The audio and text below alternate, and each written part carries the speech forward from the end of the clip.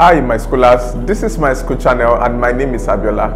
Right here in this video lesson, we are going to walk through the topics ratios, rates and proportions. Okay, so we are going to look at the different types of ratios, the different types of proportions.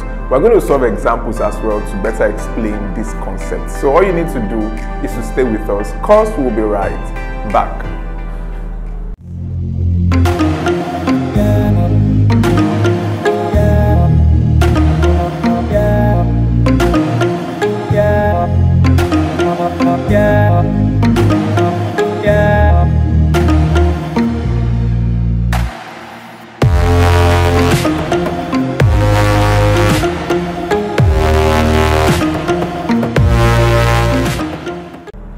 Hi, welcome back to your favorite learning channel. All right, so we have the topics, ratios, rates, and proportions. Okay, so we can see that we've made compilations here to walk through. So at first, let's kick off with the terminologies. Okay, so how do we define ratios? Ratios are just about relationship between values, between numbers. Okay, we are comparing numbers. We are comparing quantities of the same kind take note of that emphasis of the same kind okay? Their units may differ okay maybe by uh, portions okay but it is definitely of the same kind okay? That is for ratios. All right then we will now talk about rates or rate ratios okay? Rates they are just types of or they are another kind of ratio okay? Whereby what they do is that they compare quantities of different kinds all right so like for instance if i say i want to compare mass to volume okay you can see that those are quantities that differ isn't it? So that will give rise to density. Okay if i'm com uh, comparing um, distance okay to the time used okay that is kilometer to hour or kilometer per hour. So we can see that those are different quantities as well to give rise to speed. So much more okay? Then we have proportions you know, proportions compare ratios. You know, ratios compare values, they compare quantities, Why proportions compare ratios. Okay, and it's a presentation that talks about the equality of ratios. So very well, let's go to the types of ratios, the types of proportions. Okay, so before I launch in, there's something referred to as unit rate. So unit rate means that your Okay, so for instance, now in ratio, if I have A ratio B, okay, that means A over B, isn't it? Okay, or A to B, right? Okay, so the first one here is referred to as the antecedent and here as the consequent. Okay, so if I say unit rate, okay, unit rate imply that the consequence is 1. Okay, so like for instance, I want to say oh 60 kilometer per hour. So per hour means just one hour isn't it? So you can see that the consequent there is just one. So unit rate is just about one. So i'm just trying to fix that in because we do not include the types of rates in this presentation. So let's go back to the types of ratios. So we can say that we have three splits, right? We have here, we have here, we have here. This is because, you know, different kinds of presentation we tell you that, oh, the basic types of ratios are direct and inverse, sometimes equivalent, okay? Others we say no or yes, but there should be part to part type of ratio and there should be part to whole type of ratio. Then as well, we can have others that will come up with, oh, there should be com uh, compound ratios, duplicate ratios, triplicates, inverse, subduplicates, subtriplicates, okay, ratio, equality, and the likes, okay, or even continued ratio. Okay, so let's kick off with the first part or the first set. Okay, so when we say ratios are direct, okay, it tells you that as the antecedent increases, okay, the consequence also increases okay? They are moving in the same direction. So if the consequence is decreasing as well the ratio is decreasing. So when you talk about ratios that are direct or direct ratios you are talking about quantities that are actually moving in the same direction when it regards value. Okay then inverse means as one quantity is increasing, the other quantity being affected now is decreasing.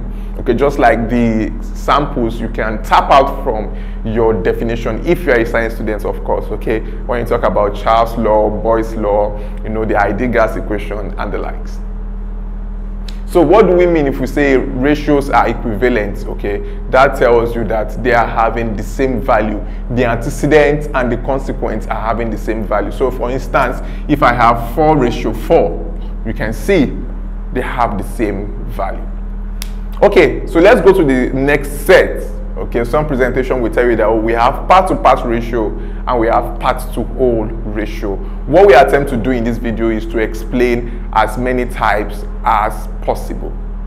So when we say part to part, that means in a whole population or in a whole compilation, okay, you are only comparing the parts that makes up, the parts that make up this whole entity okay? So like for instance if i say the ratio of boys to girls in a particular school so you can see that the total population is about the school okay? But the parts or the individuals that make up the school they have boys and girls. So you can see i can say the ratio of boys to girls will be 3 ratio 4 do we see that? So we're actually picking on the parts okay? So when we now say part to o that means we are now comparing the O number or the O population to a certain part of that population. So like for instance, if I say the number of girls, okay, in a particular school, you can see that. So let me say the number of, okay, let me say there are, there are 30 girls in a school, all right,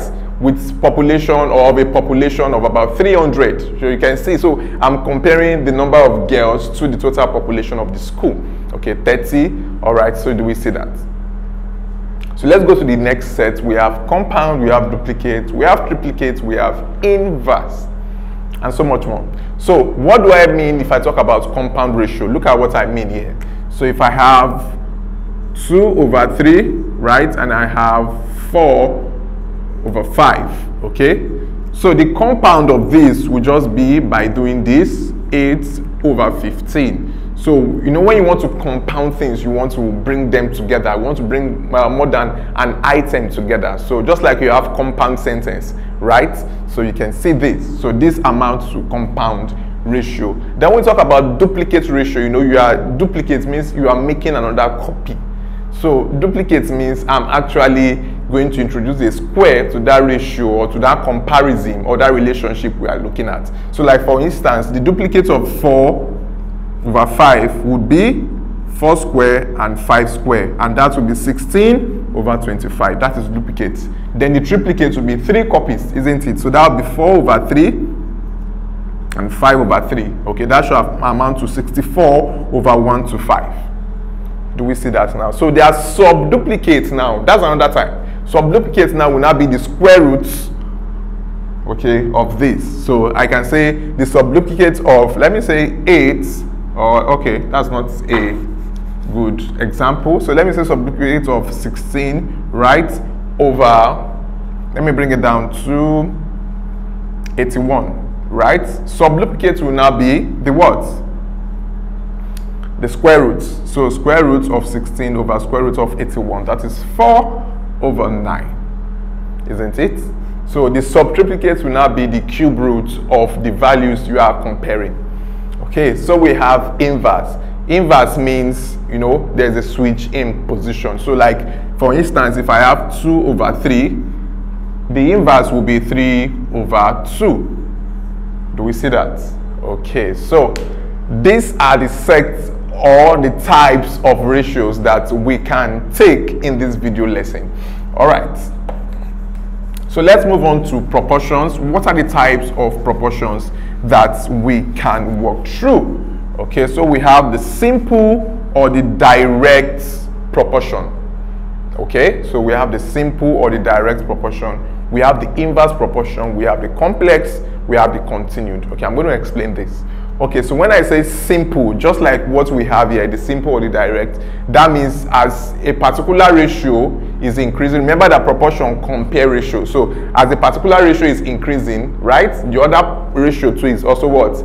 Increasing. Okay, so the, the values are moving in the same direction. So when it comes to inverse, you know, as a particular quantity is increasing, the other quantity is going down. Okay, so the same thing happens, decreasing, the other side is increasing, decreasing, increasing. So that is the inverse type of proportion. Then let's go to complex. Know, complex now means you're having a particular question that actually combine this and this together. Okay, I'm going to provide an example or examples to cover for complex proportion. Okay, then we have continued. Continued means the relationship that the first ratio, okay, we have with the next one will be the same thing that the next one we have with the third one will be the same relationship that the third we have with the fourth Okay, so this is what I mean. So like for instance, if I have A over B, can you see that? Can we see that? So we can see this is continued. So you can see that the relationship between them is of the same.